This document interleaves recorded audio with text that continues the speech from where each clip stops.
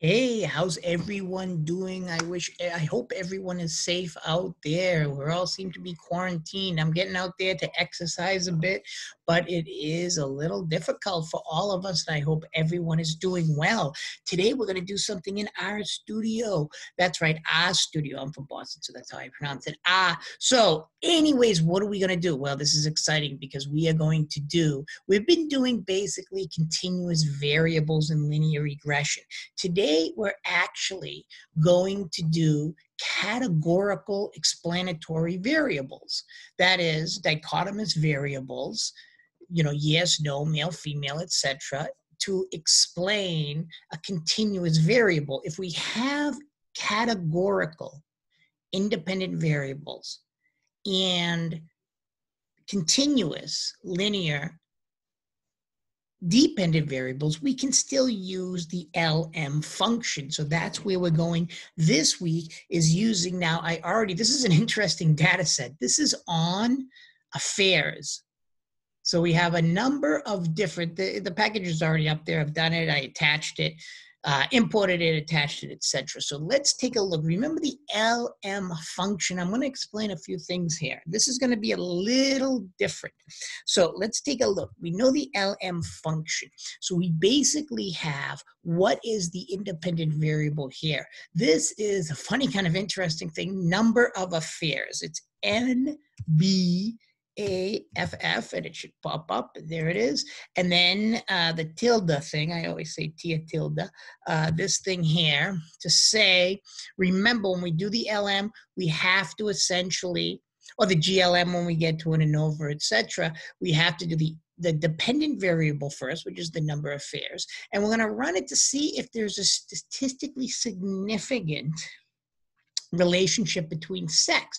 And again, that's a dichotomous dichotomous independent variable. So does sex, being male or female, affect having an affair or not? So let's take a look. So then we do sex, and then we have it in the LM, etc. So we do get the coefficients, etc. And we're going to see what this means. I'm going to explain to you. But as you know, we have to call it something to put it in the summary. So M for model, right? So I'm to run it. Now we're going to get a summary of it and I'm going to explain how to read it because we're going to read it differently than regular continuous linear regression. All right, so we get a data that's very similar to the other data like before. You know, obviously what we're seeing here, look at how it says sex male. We're reading this kind of differently. Before we talked about the estimates being, you know, with one unit of X, this was a unit more of Y. That's not what's going on here. What we have is kind of the average affair for, for in the variable sex, male. Why do we have male here? What is this intercept? This intercept is female it's basically the baseline that it's comparing it to, and we're not going to pay attention there. It's a statistically significant. That's not what we're looking at. We're looking at the male variable here, and it's basically not statistically significant. So the average is basically sex male 0.07746. What does this mean? Well, it's compared to the intercept here, which is 1.41905, which is compared with the female, but it's basically adding those two together. This is a big difference from the linear regression. So you basically have roughly men are having affairs, but not significantly more, just about 0.07746 more. So that's what makes this kind of interesting is you see it. So it's about, you know, for the average is for men 1.48 or nine, because that would be nine times. So eight, four, uh, or five, uh, one. That is the numbers added up. You add these two numbers. Now, I did this before, and I can show you how I did it before. Basically, what R does is if you're using these two variables, male, female, as sex, one of the interesting things here that gender variables, the female will always come first because they do it by alphabetical order.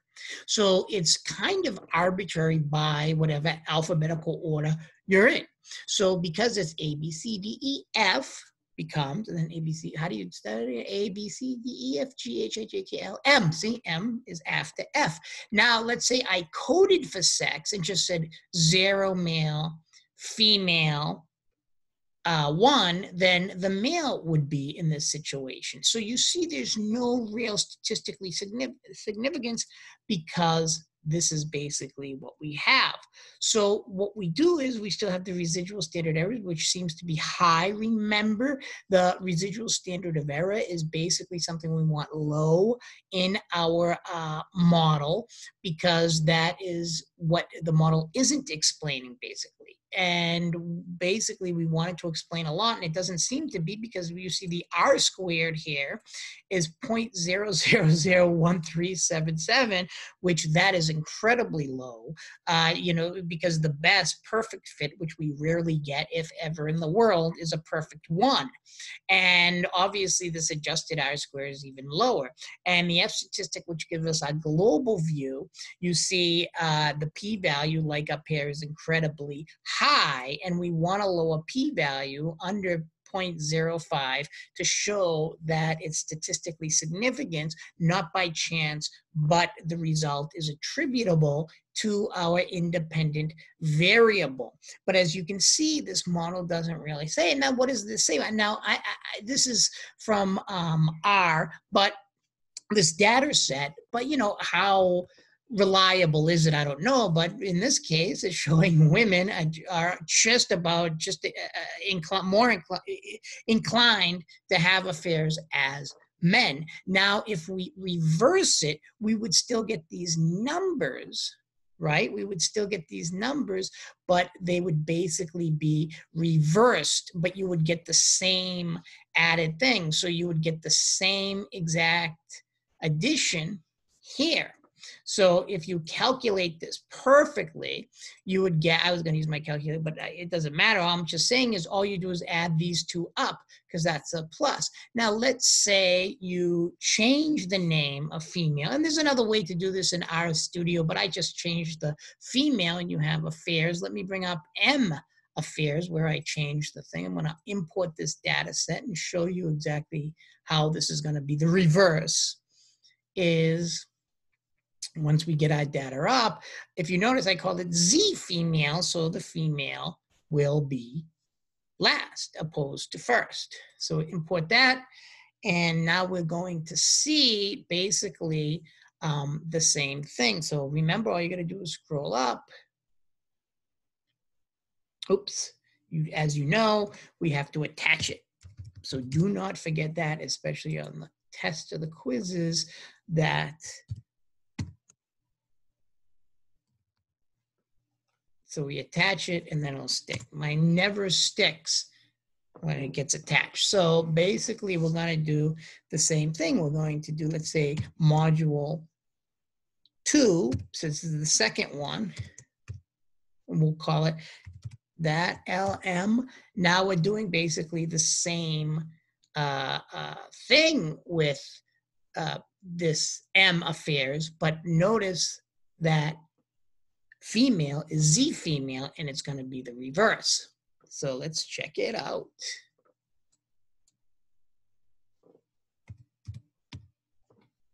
MB affairs, that's the amount of affairs, number of affairs. Like, there's a lot of zeros, but as you can see, when you go down, you start seeing people have more affairs, up to 12, 7, wow, 1, 2, etc. Not that many. I think people lie on this, so I don't really take this that uh, seriously. So remember, sex is the independent variable, dichotomous categorical variable, and the affairs. So what we're going to do is run a summary on this and basically see how it runs and notice now female is here. Notice it's the same thing, except it's minus down here, 0, 7746, which if you take this and you take 1.49650, and subtract it, which this is the man's, and subtract 0.07746, you would get the same exact number as we did in reverse.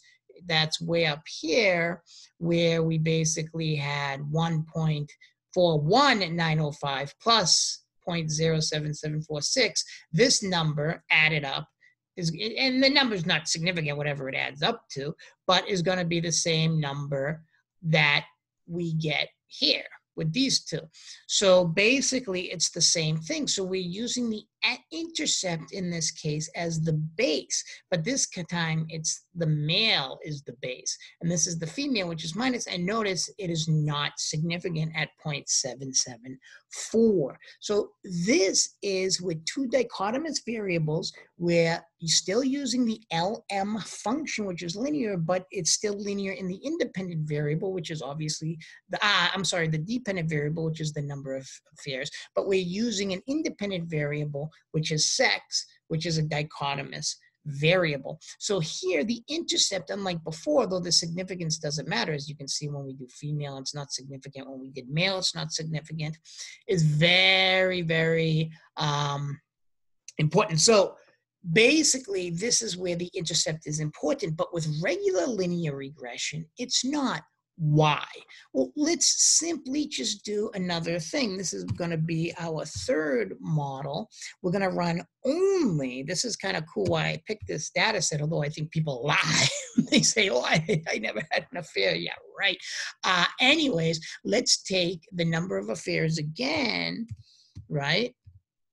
But now, oops, now with the linear uh, model, that's linear model, LM, let's take categorical, uh, I'm sorry, linear depend, uh, independent variable. We're not doing sex and male. We're going to do age here. So age is the new one.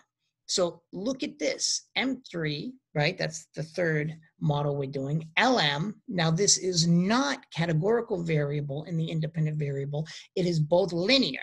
Age could be, you could be 100 or 110 and have affairs. Uh, this might explain uh, Donald Trump's thing. I took a shot at Donald Trump. Oh, okay, to make sure I'm not being politically biased.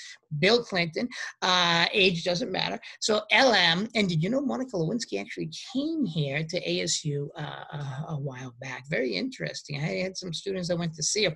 So LM, so we're doing this number of affairs, but age as the prediction. Will it be significant? But there's something more to it than that. So we're going to do the summary.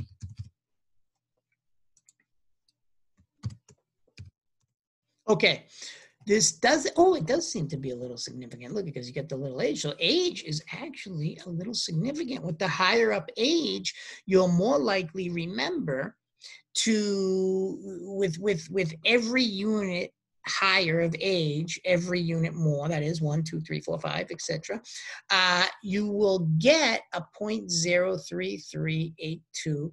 Uh, I wouldn't say likelihood, but added to your ability to have affair. So it's not like a complete one-on-one remember, that is with every one unit of age, you will have an affair one uh, uh unit more. It's basically saying with every age, because it seems to be the age is is is directly age. Oh no, but look at the age. That's right. Uh, the age isn't like 32, 37. I'm pretty sure it has some off a yeah like this 17.5 you know uh so for every unit of age you're going to have more of an affair not exactly but i would say for every what three years you'll have an affair three 3.03382 will be about, let's say every three years you'll have one affair. But basically this is saying with every unit in our practical understanding of this estimate, every unit more of age,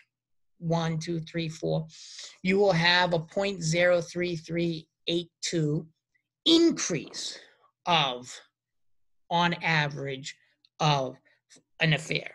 Now, let's take a look at this intercept. Why, and this was actually on the quiz, why do I tell you the intercept in linear isn't always that important? Well, this is basically the number here, 0.35711, uh, when x, that is age, the independent variable, is zero, that's supposed to be y. Like the slope of any uh, intercept, it's basically where it lands when x is zero. Now, x is age. I highly doubt anyone's having a 0.35711 chance of having an affair when there's zero age. That's the point of these not having that much important in the intercept at this in linear regression. So you basically have that issue here. So it's very, very interesting here that the intercept isn't that important because there's so many x variables here that in which you know zero isn't going to be important right x when x doesn't exist when it's at zero a baby's going to have a not even born zero 0.35711 So it's not important, but in the overall math, the intercept is important for finding these values, standard error t-value and the p-value. And here we see a p-value. I didn't know this. This is interesting. Age is a variable. It's significant. Uh, according to this, we have a residual standard error of, of the amount of, of uh, uh, variability that it doesn't actually predict, which is, in my opinion, here a little high, but still look at the multiple r squared is uh, not that good r squared, 0.009. And that's why we have to start looking at uh, different uh, coefficients and different measurements to see if something is significant. So even though here it's saying its age is significant, it doesn't seem to be very significant, only one star. And if you notice here, the multiple r squared, that is uh, r squared, the Pearson's r squared is 0.009. That's not that good. So I would be reluctant to say that this that age is, is completely significant. It might be significant here, but that's very low multiple uh, r squared. Remember, r calls it multiple r squared. I don't know why. And then the adjusted r squared, uh, when, as I told you, you're kind of being penalized for adding other variables, but we only have one. So I don't know if I would go and consider this 100% statistically significant, even though this right here says it is. And it's very low. It's like 0.0195. It's right below 0.05. But I mean, you could get away with saying it's statistically significant here, but it's a very low here, ironically, um, uh, R squared. So anyways, that was the point of this was to show you kind of the difference, particularly with the intercept, how it's used in categorical variables when we're running regression and linear variables. This intercept is supposed to be the y when x is zero, but that doesn't mean make much sense. And that's why in a lot of linear regression, at least when I was taught it, now when you deal with more advanced statisticians, they're going to say, no, no, let me explain this to you, which is great. Some of the stuff in another video you have seen or you're going to see when we, talk about uh, why sometimes variables are significant when they're grouped with other variables but not significant on their own and we're going to do with the ice cream. That's going to be very important because statisticians statistics isn't just like math two plus two. There's a lot of theory there's a lot of debate etc with this. But for now i would say this is statistically significant but it's very, very uh, low, and this multiple R squared is very poor. So uh, again, the takeaway in this is the estimate is used differently in linear compared to categorical variables. Uh, please leave any questions in community forum and thanks. Uh, I miss all of our class discussions and this has been a very difficult time for a lot of us, you know, sitting here quarantine giving you this, but please leave any questions or just email me, reach out. I love to hear from everyone and take care out there.